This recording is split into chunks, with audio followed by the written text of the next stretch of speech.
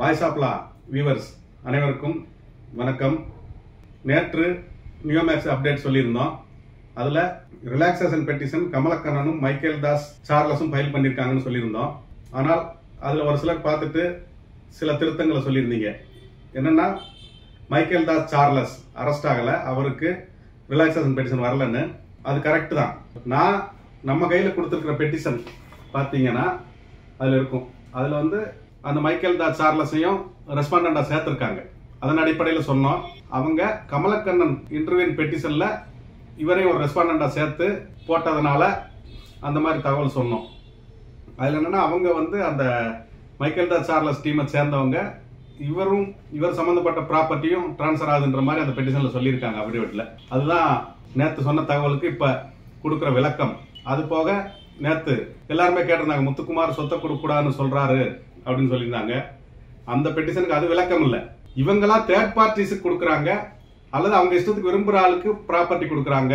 அப்படி கொடுக்க முடியாது. அது வந்து நீதிமன்றம் மூலமோ அல்லது போலீஸை வச்சு ஃபைவ் வச்சு டிஆர்ஓ மூலமோ கொடுக்கணும்னு தான் சொல்கிறாங்க நீதிமன்றம் டிஆர்ஓ கோர்ட் இவங்க நாலேஜ் இல்லாமல் தனியாக அவங்க வந்து அந்த ப்ராப்பர்ட்டிஸை டீல் பண்ணக்கூடாது.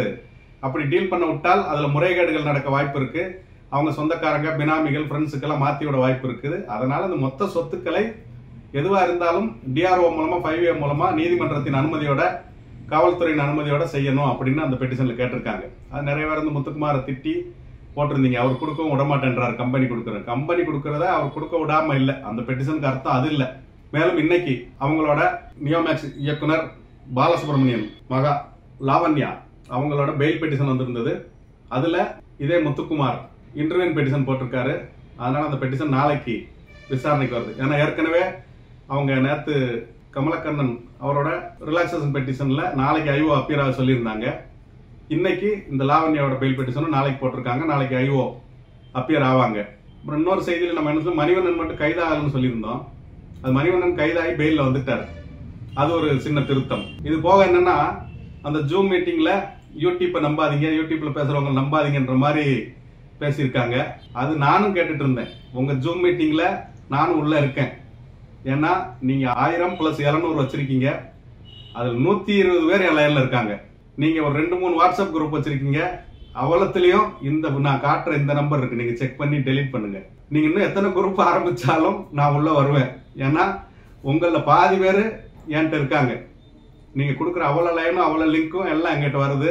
நம்ம டெய்லி அப்டேட்டை மட்டும் தான் சொல்லிட்டு இருக்கிறோம். யாரையும் எந்த கிரிட்டிசைஸும் பண்ணலை எந்த குறையும் சொல்லலை. அது முதலீட்டாளர்களையும் சொல்லலை நிறுவனத்தையும் சொல்லலை டைரக்டரையும் சொல்லலை. டெய்லி நடக்கிற விஷயங்களை உங்களுக்கு தகவலாக சொல்கிறோம் அதுவே வந்து நீங்கள் எங்களை குறை சொல்ல ஆரம்பிச்சீங்கன்னா அப்புறம் உங்களை வண்டி வண்டியாக நாங்கள் குறை சொல்ல ஆரம்பிச்சிருவோம். அதுக்கு இடம் கொடுக்காதீங்க. நானும் கேட்டுட்ருக்கேன் இருக்கேன். ஜூம் மீட்டிங் நானும் இருக்கேன். உங்கள் ஜூம் மீட்டிங்கில் கலந்துக்கிட்டவங்க தொள்ளாயிரத்தி எண்பத்தி நாலு பேரோட பேர் லிஸ்ட்டு உட்காந்து எழுதுனேன். எழுதி ஒரு முந்நூறு பேர் எழுதுனேன். யாராருன்னு அதுக்குள்ளே அந்த டைம் முடிஞ்சு உங்கள் மீட்டிங் கட் ஆயிடுச்சு. நீங்கள் எந்த குரூப் ஆரம்பித்தாலும் எந்த மீட்டிங் போட்டாலும் ஜூம் மீட்டிங்கோ வாட்ஸ்அப் குரூப்போ எனக்கு லிங்கை ஷேர் பண்ணிடுவாங்க அந்த லிங்க்குள்ளே நான் இருக்கேன் அப்படின்றதை நீங்கள் வந்து கொஞ்சம் நல்லா தெரிஞ்சுக்கணும். இன்னும் நியோமேக் சம்மந்தமாக அப்டேட்டுகள் வரும். தொடர்ந்து இணைந்திருங்கள். எங்கள் சேனல் கூட. மேலும் நாளைக்கு உயர்நீதிமன்றத்தில் அந்த கமலக்கண்ணன் அவருக்கு பெயிலை கேன்சல் பண்ணணும் அப்படின்னு கேன்சலேஷன் ஆஃப் பெயில் பெட்டிஷன் தாக்கல் பண்ண போகிறதாக எனக்கு ஒரு பெட்டிஷன் காப்பி வந்திருக்குது. அந்த செய்தியை அவங்க கேஸ் ஃபைல் பண்ணி நம்பர் பண்ணதுக்கப்புறம் டீட்டெயில் கொடுப்போம். இன்னமும் இது மாதிரி செய்திகள் வரணும்னா எங்கள் சேனலை சப்ஸ்கிரைப் பண்ணுங்கள் லைக் பண்ணுங்கள் ஷேர் பண்ணுங்கள் தொடர்ந்து நியோமேக்ஸில் நீங்கள் எந்த மீட்டிங் போட்டாலும் நாமும் இருப்போம் என்று சொல்லி உங்களுக்கு வணக்கங்களை தெரிவித்துக் கொள்கிறோம். நன்றி வணக்கம்.